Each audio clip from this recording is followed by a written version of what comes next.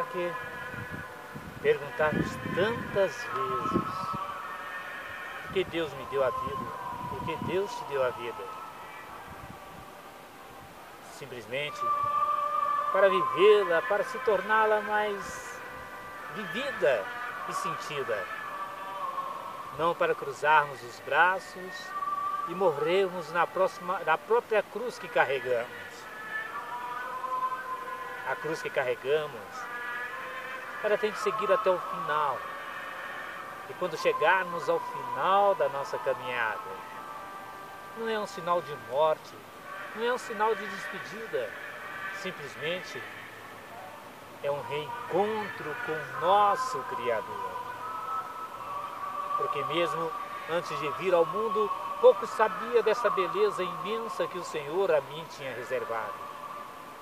E com certeza, eu acredito naquele que tudo pode, o nosso Pai Celestial.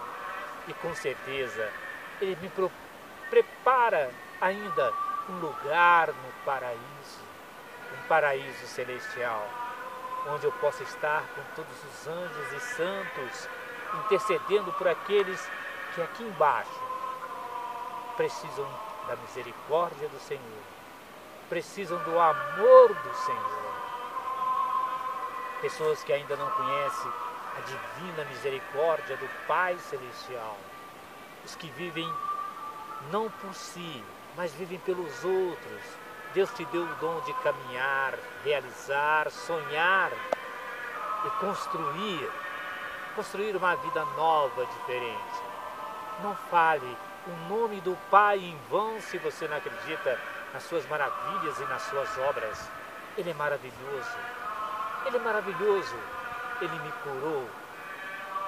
Ele me trouxe aqui para dizer: acredite naquele que tudo pode.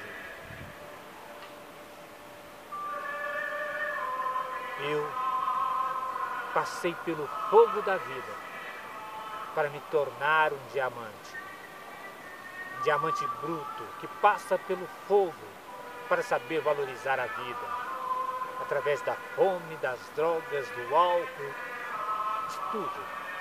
Mas Deus me renovou para que eu pudesse ser um exemplo de vida e dizer a você: tudo o que você precisa está dentro de você.